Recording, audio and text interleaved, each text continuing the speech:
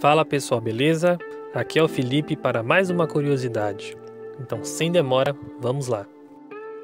Você já deve ter ouvido a história de quando o Senhor Deus falou com Moisés através da sarça ardente e o manda voltar ao Egito para libertar o povo da escravidão.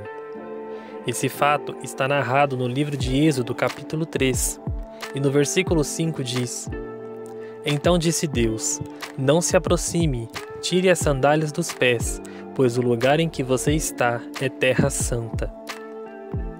Essa ordem de tirar as sandálias acontece apenas duas vezes na Bíblia, com Moisés e Josué.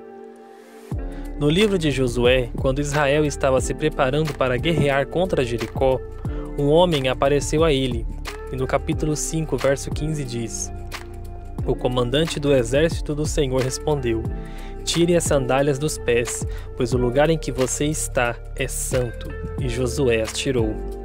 Mas por que isso foi dito a eles? Por dois motivos. Primeiro, temos que lembrar que Moisés e Josué cresceram em meio à cultura egípcia. Moisés ainda foi além, pois estava sendo educado e preparado para ser um faraó no futuro. Na cultura e religião egípcia, eles acreditavam que quando se estava diante de uma divindade, você tinha que tirar os sapatos por questão de respeito. Apesar de ser uma prática pagã, nesse caso em específico, Deus falou com ambos através da linguagem que eles conheciam. Jesus, em sua época, por exemplo, utilizava as parábolas para que o povo entendesse a mensagem. O segundo motivo é que no Antigo Oriente Médio, o ato de tirar as sandálias era um sinal de respeito e humildade.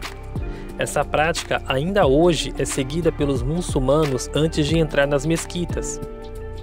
Agora, uma coisa temos que deixar claro: essa prática não é uma doutrina.